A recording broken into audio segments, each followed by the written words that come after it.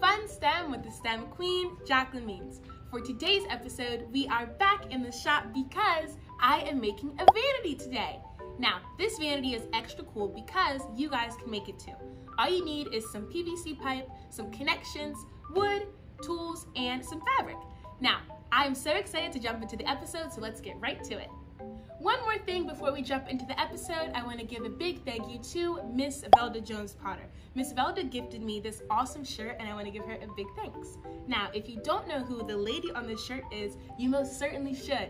This is Millie Dresselhaus. Millie is known as the queen of carbon science. Her work with carbon materials, semiconductors, and nanotubes made her the first woman to win the National Medal in Science and Engineering and earned her the Medal of Freedom.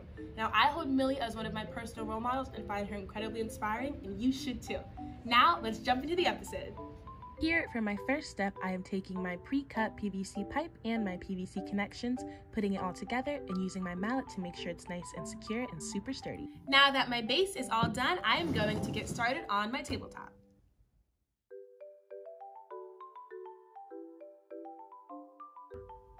Now that my tabletop is done, I'm going to take my second fabric and put together my backboard, which will hold my mirror.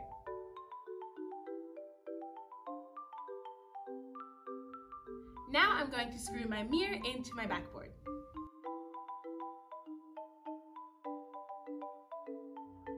Now I'm going to screw my base onto my tabletop.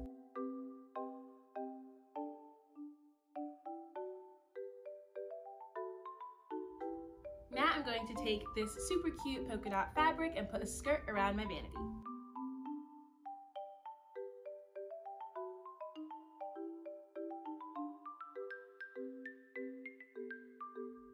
Now that my skirt is on my vanity and my backboard is all put together, I'm going to take these cute little shelf brackets and repurpose them as support for my backboard. And then I'm gonna attach the two together and add some finishing touches and be right back.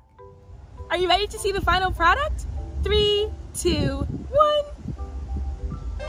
Don't you love the way it came out? I think this is such a fun little at-home DIY project with materials that you can find either around your house or at your local hardware store. This is just PVC pipe, some shelf brackets, and wood and a mirror.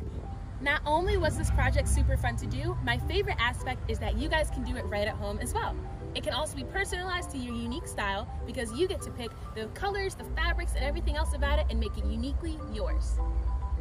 I hope you guys had a lot of fun in this week's episode of Fun STEM with the STEM Queen, Jacqueline Means, and I'll see you in the next episode.